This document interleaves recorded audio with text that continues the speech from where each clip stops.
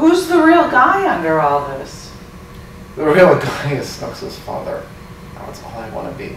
My whole goal in life is to be Snooks' father. I just want to be a good father to her.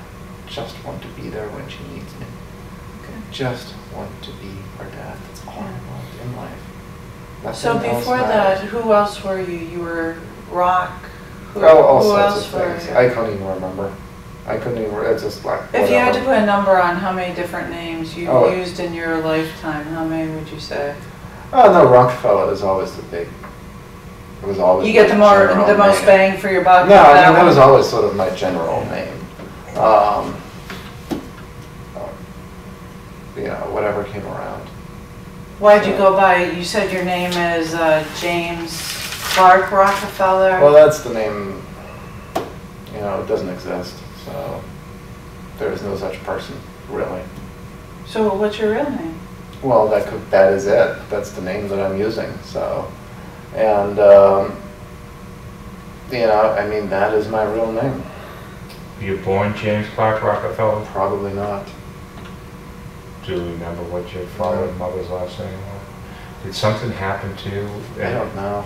I've been a asked that many, many times. I know, and I'm just asking you out of sincerity. I'm just, Mm-hmm. there had to be something that happened that made the track switch that you forgot to be Jimmy Smith and became Clark Rockefeller. I couldn't tell you. The um, psychologist who did the uh, original interview during the custody case asked me that a million times. Do you remember what your mom and father looked like as a child? You don't remember seeing them? Do you think you were orphaned? Couldn't tell you.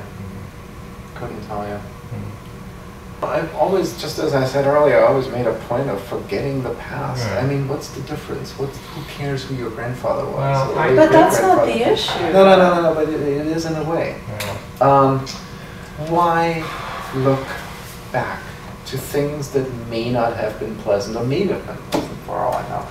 But, you know, why Did not you have an unpleasant forward? childhood? I don't know. I couldn't tell you. I just couldn't tell you. Hmm. I, I really seriously don't know. It's a total, utter blank. Blank, blank, blank.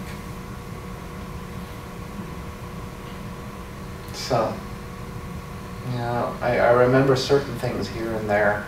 Sometimes some strange things come back to me, God knows why. I, um, For instance? well, at one point I saw a Sussex Spaniel, if you know what that is. No. I, I do. Oh, Yeah, Yeah, okay. I watch dog shows, you Okay, know, well, I get into those. so. I'm totally certain that I grew up with a Sussex Spaniel. Oh. I just know I did. Other, but- okay, sorry. I don't have any evidence of that. I don't know. I don't have any pictures. I don't have any baby pictures. I don't have much of anything.